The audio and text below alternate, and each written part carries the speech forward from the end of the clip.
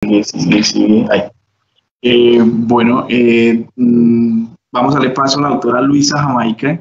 Eh, doctora Luisa, por favor, para que nos explique cómo el Ministerio de Educación Nacional y con la unidad, administrativa del programa de interés escolar ha articulado las compras públicas locales. Buenos días para todos. mi nombre es Luisa Jamaica. pertenezco a la unidad administrativa especial de alimentación escolar, alimentos para aprender. Esta es una unidad que se encuentra adscrita al Ministerio de Educación Nacional. Esta unidad empezó a funcionar desde el primero de marzo del 2020. ¿Me puedes regalar la siguiente diapositiva, por favor?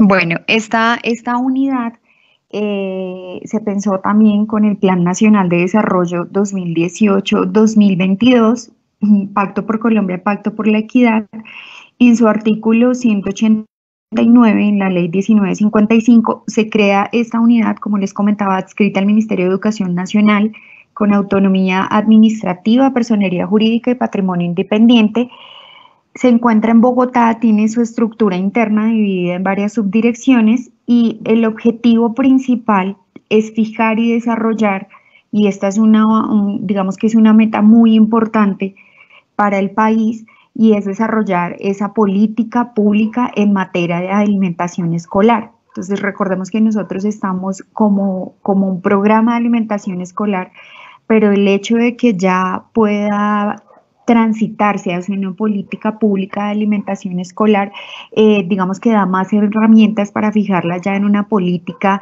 de Estado. Este de pronto como para enmarcarles un poco y ver la figura, como les decía, de la Unidad Administrativa Especial de Alimentación Escolar.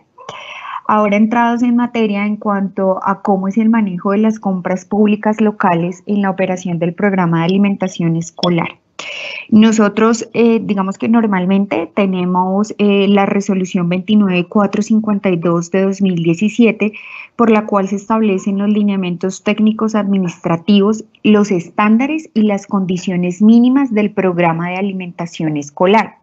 Esta es la resolución vigente en estos momentos, teniendo en cuenta y eh, digamos que me gustaría hacer claridad en cuál es el objetivo del programa de alimentación escolar, que continúa siendo el acceso con permanencia de los estudiantes del sistema educativo oficial y nuestro elemento, nuestro vehículo para ese acceso y permanencia va a ser el suministro de un complemento alimentario que como su nombre lo indica, complementa la alimentación que los niños, niñas, adolescentes y jóvenes reciben en el hogar.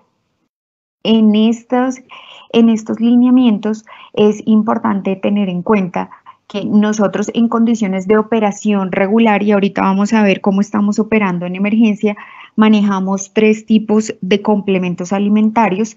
Uno es complemento alimentario en ración industrializada, que este se da, digamos, en las instituciones educativas cuando las condiciones no nos permiten operar directamente o realizar una, eh, una preparación en el sitio. Entonces es ahí también que está la modalidad de preparación en sitio y otra modalidad que es comida caliente transportada teniendo en cuenta que eh, por el decreto 1852 de 2015, la operación del programa de alimentación escolar es descentralizada es decir, eh, la contratación e implementación en territorio se hace a través de las entidades territoriales.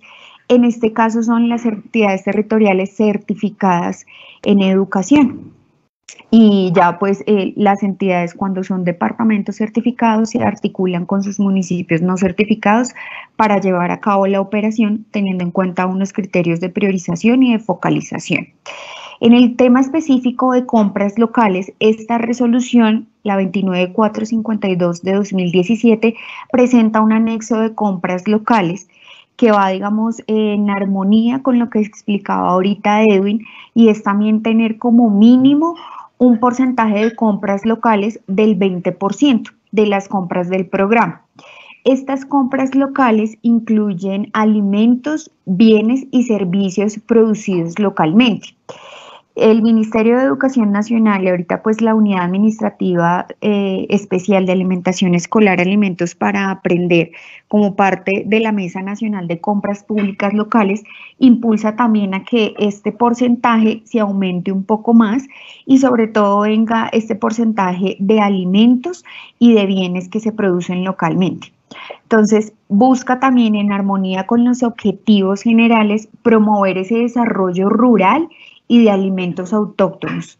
Entonces se promueve que desde cada entidad territorial, que es desde donde se diseñan los ciclos de menús, se logren incorporar alimentos que sean producidos localmente.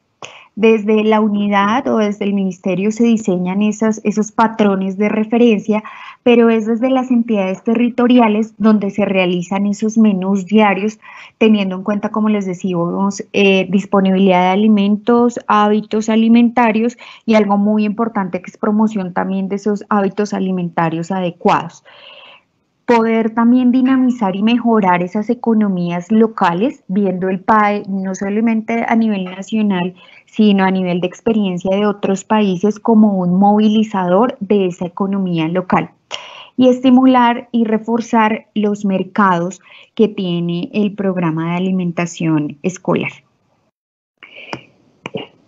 Acá también es importante tener en cuenta que, eh, bueno, dentro de los beneficios es garantizar ese acceso a alimentos autóctonos, facilitar el desarrollo de los proyectos de responsabilidad social, promover esa generación de empleo y la articulación escuela-comunidad, entonces, también teniendo en cuenta que es un eje dinamizador y un aspecto muy importante cómo se hace la implementación del programa en el área rural y rural dispersa, entendiendo las particularidades de ese territorio. ¿Mm? ¿Me puedes ubicar la, la diapositiva?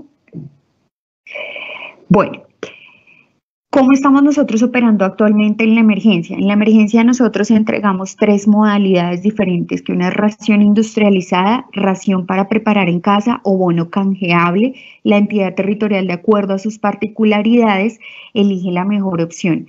La industrializada se compone por eh, alimentos como lácteos, cereales, azúcares y dulces y frutas.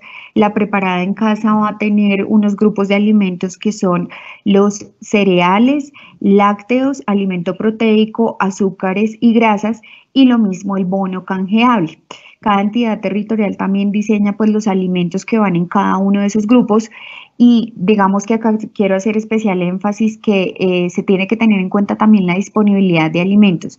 Y si la entidad territorial desea ajustar a incluir nuevos grupos de alimentos, bien sea digamos de frutas, verduras, cárnicos y demás, se puede hacer teniendo en cuenta, eh, digamos que se mantenga el aporte nutricional y dando todas las recomendaciones respecto a almacenamiento y conservación de los alimentos.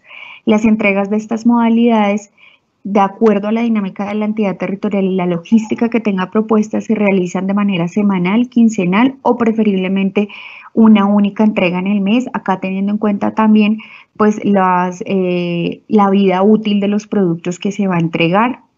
Se hace también una programación estricta evitando estas aglomeraciones de la gente pues para seguir las recomendaciones que nos han dado a nivel nacional respecto al manejo de la pandemia por el COVID-19 cada una de las entidades debe implementar unos esquemas de supervisión y de interventoría y acá se continúa con la figura de financiación con bolsa común en la que digamos que de diferentes fuentes provienen los recursos para financiar el programa de alimentación escolar. La meta es llegar a cubrir 6,2 millones de escolares. Eh, a partir del 20 de abril que continuaron el aprendizaje en casa, se, eh, digamos que se continuó con ese suministro. Antes del 20 de abril también se dio a cabo el suministro del, de estas raciones para aprendizaje en casa. La resolución que actualmente eh, digamos que bajo la cual se opera en este marco de emergencia es la resolución 007 del 16 de abril del 2020.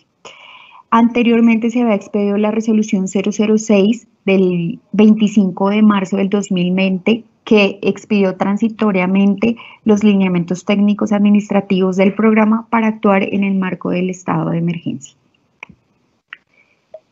muchas gracias, creo que ahí ya se me cumplió el tiempo.